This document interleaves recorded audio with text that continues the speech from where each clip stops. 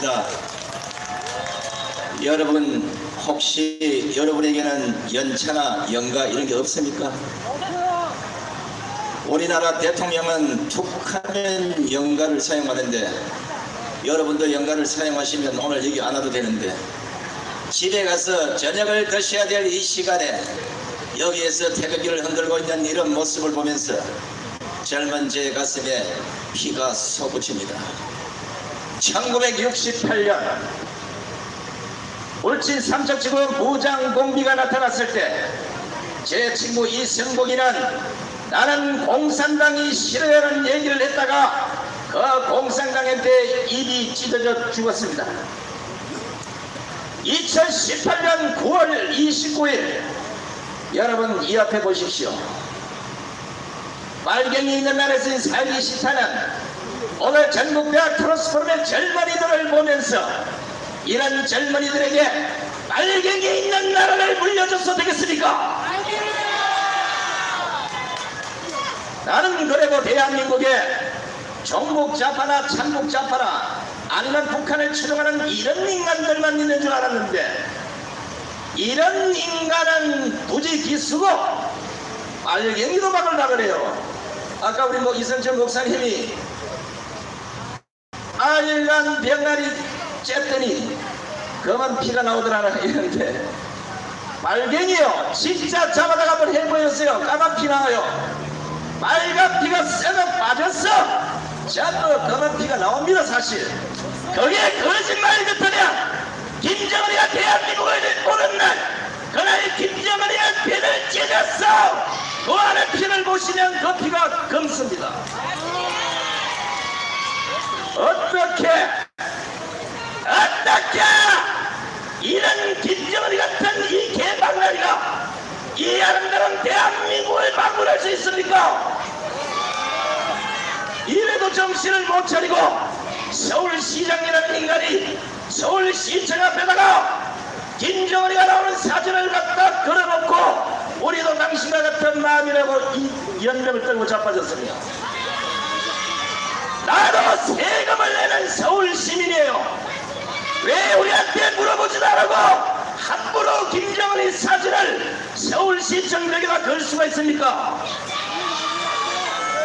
당장 주민 소환을 해서 서울시장 몰아내야 됩니다. 우리가 몰아낼 사람도 많이 있겠지만 제가 이름을 안 돼도 여러분 마음속에는 적어도 대한민국에서 빨간색 피, 검은색 피 이런 종자들 한 300만 명만 부글어버리면 나라 조용하겠죠. 오늘 여기에 전국대학 트루스포럼의 젊은이들이 나와서 얘기한 걸 들으면서 그래 이제 됐다. 우리도 우리의 모든 역량을 저 젊은이들에게 빌려주고 뒤에서 그들을 위해서 열심히 녹음을 하고 열심히 위해서 서포트를 할 수 있다면 그래 대한민국은 아직도 철없지는 그런 모든 젊은이가 태극기를 들고 이곳에 모일 수 있다고 저는 장담을 합니다.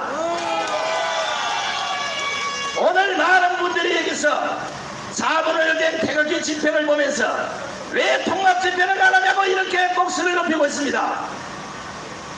제가 나서긴 나서야 되는데 여러분 알다시피 족쇄가 차여서 잘못 나섰다가 또 붙잡혀가면 여러분 3년 동안 못 봐요. 그러나 나라가 위태로울 때 나라가 엉망진창이 됐을 때 나라가 개판이 됐을 때 어떻게 대한민국을 살아가는 이 애국자가 가만히 앉아 있어서 되겠습니까? 서청대 다시 가고 싶지만 가기 싫습니다. 서청대가 아니라 아우지 탄각이라도 위태로운 나라를 구할 수 있다면 여러분이나 저나 똑같은 마음일 것입니다. 이제 장담하는데 10월부터 강화문 아니면 여기 여기 아니면 아마 대한문 여기 좋은 장소를 골라서 누구나 태극기를 들고 함께 할 수 있는 이런 통합 집회 누구라도 만약에 빠지게 되면 태극기 집회를 은혜하는 세력으로 제가 있습니다. 이제는 흩어져서는 아무것도 할 수가 없습니다. 우리가 흩어졌던 그 시간들 때문에 빨갱이란 나날이 기세 등등하게 난리 법석을 뜹니다. 대한민국에는 꼼꼼한 사람들이 많습니다. 대한민국의 법치가 무너져서 박근혜 대통령을 탄핵하고 있을 때 그 불법 탄핵을 보고 이거는 아니지 않냐고 소리 넘치는 법조인이 누구입니까? 대한민국의 군이 저 어리석은 어린 청년 나라 군대로 갔다 오지 않는 군 인권센터 그 어린 아이에게 대한민국 기부서가 무너지고 대한민국 육군 대장 박찬주 대장의 184만원 때문에 감옥에 가야 하는 이 아픔을 보고도 야 그거는 아니지 않느냐 하고 누구라도 나서서 외쳤던 별이 있습니까? 진짜 별은 여기밖에 없습니다. 대한민국의 모든 별이 똥별이 돼도 좋다고 열을 달고 다닙니다. 대한민국의 적폐 적산 1호로 지목돼야 될 저 수많은 기레기 언론들 이 방송과 신문을 보고도 야 이놈들아 그렇게 해서는 안 된다고 목소리를 높인 선배 언론인들이 누가 있습니까?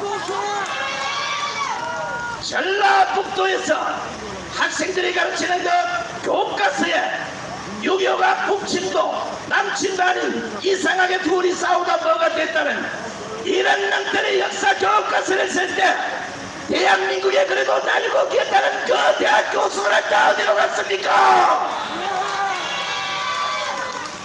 대한민국의 정치가 개판이 돼서 식물 정치, 식물 국제, 식물 정치인이 됐는데 야 이놈들아 정치 좀 제대로 하라고 누구 하나 나서서 손가락질이나 뺨한 대 때리는 정치인이 있습니까? 없잖아요.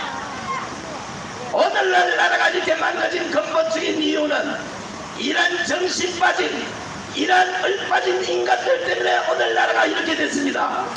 이명박 정부 박근혜 정부를 거치면서 총리야 그래도 그들에게 은혜와 혜택을 받았던 이런 자들은 그 책임을 다하기 위해서도 여기에 나와서 무릎을 꿇고 섰고 대지는 못하더라도 저 뒤쪽에 서서 같이 대각기를 흔들어야 되지 않겠습니까? 신성을 목사님께서 말씀하셨습니다. 수많은 종교가 있는데 종교만 망가진 게 아니라 그 종교가 실험을 당하고 아직도 일어서지 않는 목사가 있다고 하는데 여기 신성을 목사님, 이성철 목사님 그리고 태극기를 드는 몇 분의 목사님 이외 야 이렇게 망가지는 우리의 기독교, 우리의 불교, 우리의 천주교 종교가 무너지고 있는데 뭐하냐고 이렇게 목소리 높거든 종교인이 몇 명 있습니까? 안 됩니다. 지금 그들은 3년 동안 태극기를 흔들어서 이제 뭔가 뒤집어질 만한 이때가 되면 또다시 쥐새끼들처럼 대가리를 쳐들고 나타날 것입니다. 이거에 용서해서는 안 되는 겁니다.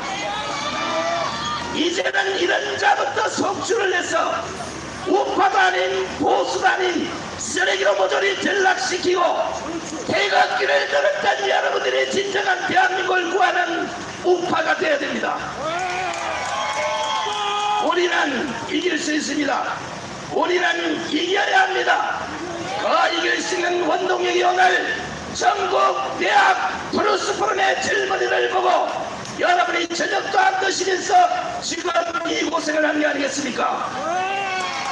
저는 전국 대학 프로스 포럼 젊은 우리 친구들에게 호소를 합니다.